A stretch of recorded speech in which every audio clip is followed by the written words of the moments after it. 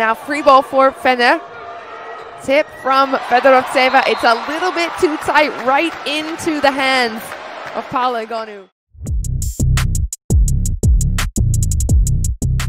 Again, cross court, good dig. Egonu's going to have a shot down the middle. That's how it's done. Handled nicely. And that's how you do it. Get her off the line immediately. Difference, but really important. Oh, the tip falls. Egonu finding a way to score. Way.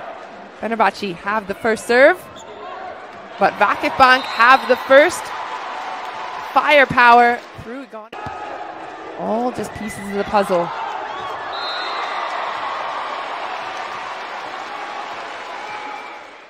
Opportunity now. Boom. There it is.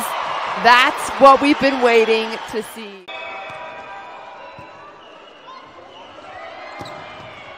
Good response from Egonu. Storms. Cansu pushing it back to Egonu, and does she clip the line? Yes, she certainly does. Found that corner. The libero on the right side. Egonu with a fast flipper behind. Barely even in a nice response from Vakif, working at the net, making it tougher for Fener to make that point. Much better, perfect ball in. And Egonu finds the sideline. And that's a Egonu going for the touch, and she gets it. Nice high swing. All right, back over to Vakifbank. The swing from Egonu puts it away quickly. Putting up butter. There just isn't.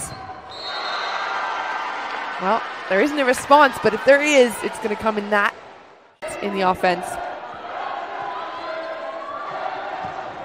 There's the Egonu that Vakifbank need more of.